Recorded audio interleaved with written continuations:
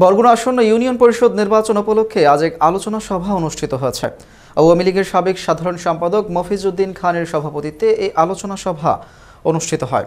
এ সময় চেয়ারম্যান পদে নির্বাচন করার ইচ্ছে নিয়ে মোহাম্মদ মোশাররফ হোসেন মাস্টার সকাল থেকে সন্ধ্যা পর্যন্ত বিভিন্ন গ্রামের ঘরে ঘরে গিয়ে জনগণের সঙ্গে মতবিনিময় করেন এবং তিনি বলেন, আগামী ইউনিয়ন পরিষদ নির্বাচনে চেয়ারম্যান পদের জন্য ভোট প্রার্থনা করছে। নির্বাচিত হলে মাদক ও সন্ত্রাসমুক্ত ইউনিয়ন উপহার দেব এলাকাবাসীকে।